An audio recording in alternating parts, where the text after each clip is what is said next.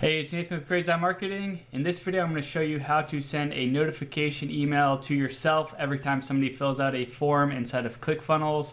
Now, it, this does entail using a tool called Zapier, which is free up into like 100 zaps, which is like 100 form entries is a way to think of it. So if you have more than 100 people filling out a form in a month, you'll need to upgrade to a paid version of Zapier. I think it's $20 a month to start. But Zapier does a bunch of other stuff too, so you might use it already and you might be familiar, familiar with it. So anyway, following this method, you'll be able to have somebody fill out a form and you'll get an email on the other end so you could follow up with that individual. And we're basically going to do this from scratch. Like I'll build the form right here and set it up through Zapier as well right here. So that way you see the entire process and hopefully gain an understanding of how you can do it yourself. So I created a new funnel and it's asking me to select my page type, so opt-in page, and I'm just gonna look for like a pretty simple one. We'll go with this clean box opt-in here. And I'll just set up a thank you page as well real quick just so we have something for people to land on afterwards. So opt-in, thank you. All right, cool, this one's good enough. Alright, so I got my two pages, an opt-in page and a thank you page. Now let's go to the opt-in page and edit this page real quick. Alright, so here's a form. I got a name, an email address, and then a submit button. And you can go ahead and add more fields to this form. So I'm going to do that now so you can see how you could add like custom fields, for example. So if you have like an application funnel and you have questions about somebody's business or what they're trying to accomplish, you could get that information. So what I usually do is I just clone a field if I already have one so that way it keeps the same style and theme, just save a little bit of time.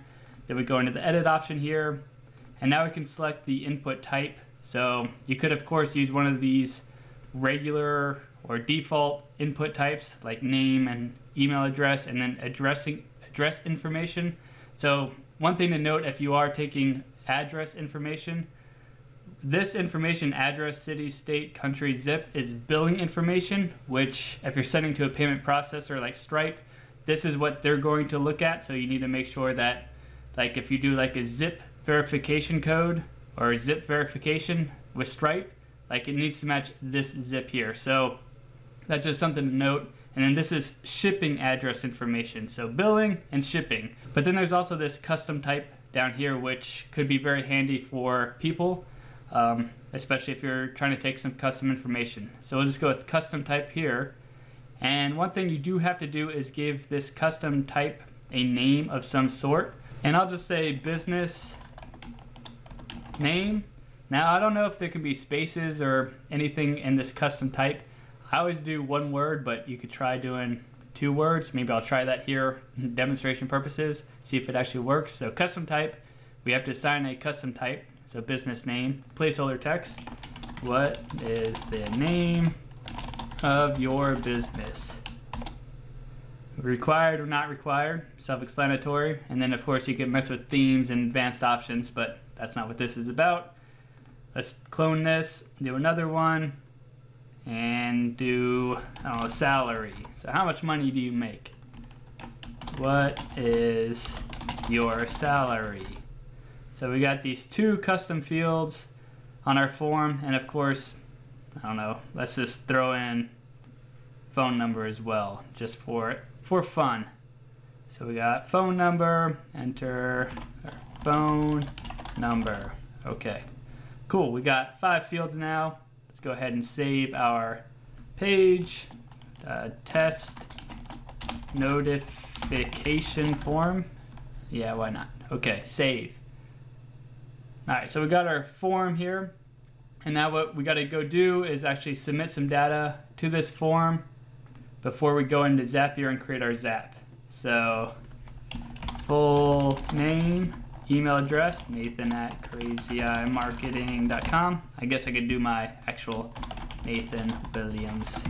Phone number, 123-456-0990. Name of your business, Crazy Eye Marketing. Salary, one milli. One million dollars. All right. Download the free report now. All right, so I submitted that data. Now I can go over to Zapier and make a zap. So I'm logged in already. I'll go to make a zap and I'll do notification example as the name of this zap. Now for our trigger app, we want to go ahead and choose ClickFunnels. ClickFunnels. And we want new contact activity because that's what it is when somebody fills out a form. It's new contact activity. Go ahead and select your ClickFunnels account. Hopefully this is the correct one. And what funnel do we want to watch? So select your funnel that you want to pay attention to that has the opt-in form on it. And I'll find my form, email notification, funnel step. Go ahead and select the appropriate funnel step, so opt-in, and continue, and fetch and continue. And then we can go ahead and view our contact, see what information came through, make sure that it's the information that we just filled out on the form. So we got last name Williams, first name Nathan, scroll on down a little bit, we see more information, scrolling on down, and so on. Here's here's that additional information. So here's my salary, one milli. Uh, scroll on down here, one milli. What was my other my business name? Oh, here's my business name too. All right, so it looks like all that information is passing through. So awesome. Continue. And then what we want to do is a built-in app, and we want to go for email here and send outbound email. Save and continue. And two, so who do we want to send this email to? So your email address, Nathan at crazyeyemarketing.com. Subject, we can go, we can create a custom subject line if we want to, or just set a default standard line if we want to. So I'll just do name, filled out the, the application. All right, body text we'll come back to in just a second here. So from name, so who who sent this email? So you could be like click funnels form if you want to, or the name of the actual application, or you could of course select you know the name of the individual name. So reply to. So if you want to be able to hit reply to this email and reply to somebody, that's whose email address you enter into this line. So let's say that I may want to reply to this lead, let them know that I got their inquiry and I'll be in touch soon or whatever it is. So I could go ahead and do email right there. And then there's CC, BCC, and force line breaks. And CC is carbon copy and then blind carbon copy. Hopefully you know how emails work, so you can do that. And then force line breaks, I'd leave that to no unless you have some issues, which you shouldn't with what I'm about to show you. So let's come back up here to body. And what I recommend you do is find a WYSIWYG editor. So what you see is what you get. Wizzy, WYSIWYG.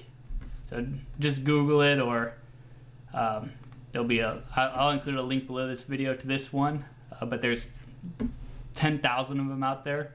But it just helps you, if you're unfamiliar with HTML, create HTML, which is what you're gonna need for this body content here.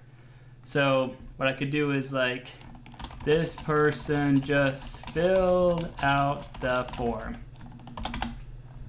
And then I could do first name, last name, email, phone, business name, salary, salary, I can spell,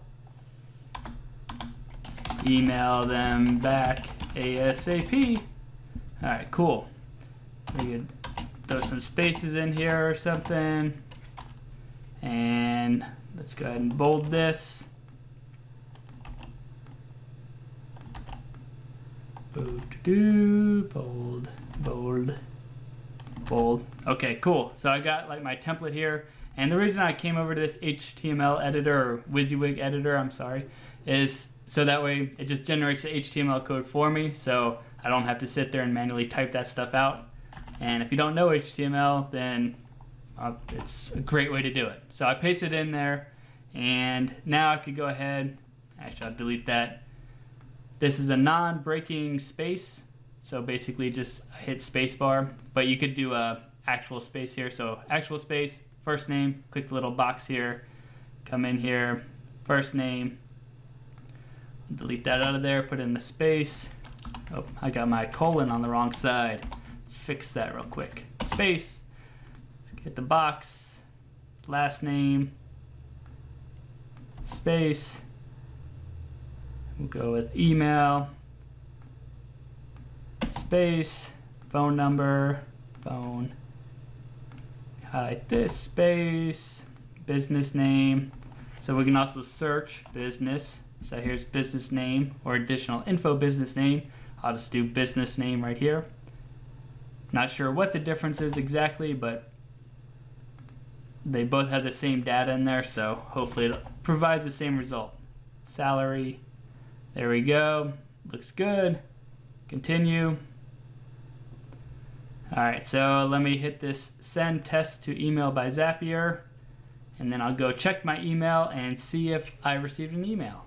All right, so I did receive an email. It's pretty instantaneous. So Nathan Williams filled out the application. Here's his information. It's from Nathan at crazymarketing.com. If I hit reply, it goes to my reply to email address, and I can go ahead and reply to that person. So awesome. Seems to be working here. Close, close. So I'll hit finish, turn on my Zap, and wait for it to turn on. Okay, so it's on. Now, before I send any sort of traffic to this page, I would go ahead and test it again. Make sure that when somebody actually fills out this form, that you actually get the email before, you know, you spend money on people coming to this page. But yeah, that's how you go ahead and you create a form and then you get a notification, an email notification when somebody fills out that form with the data that they entered using Zapier.